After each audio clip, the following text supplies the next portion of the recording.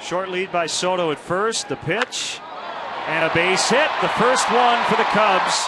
Soto will make the turn and head to third as Soriano has a two out single.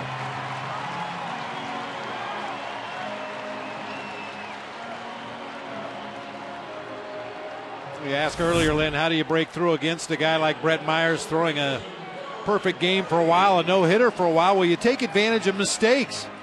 Curve ball that hangs up above the belt to Soriano, and he tomahawks it into left field for the first Cubs hit of the game.